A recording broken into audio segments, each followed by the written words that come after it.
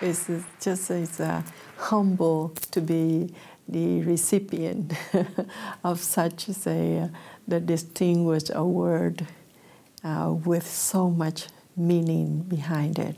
Kim Phuc is famous for being the subject of a photograph. A photograph of such power that it galvanized public opinion around the world about the war in Vietnam and helped change the course of history. I avoid, avoid totally to look my picture alone.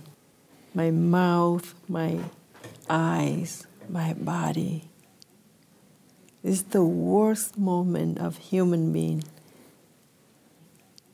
As a little girl, I felt so embarrassed uh, why I was naked and my brothers, my cousin, with clothes on.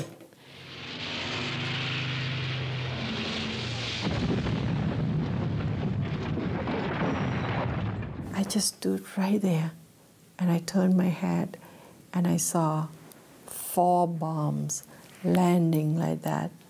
Fire was everywhere. And the fire actually burned my clothes off.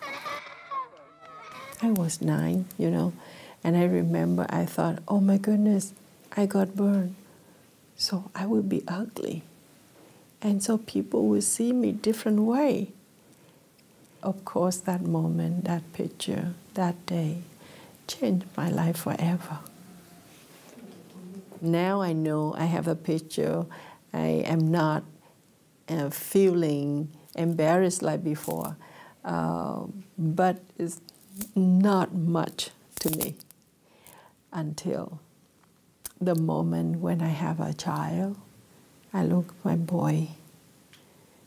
I never want the children suffer like that little girl.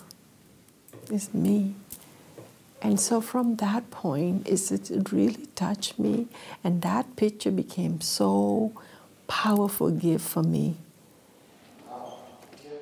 If everyone can learn to live with love, with hope, and forgiveness, absolutely, we don't need war at all. If that little girl in that picture can do it, so everyone can do it too.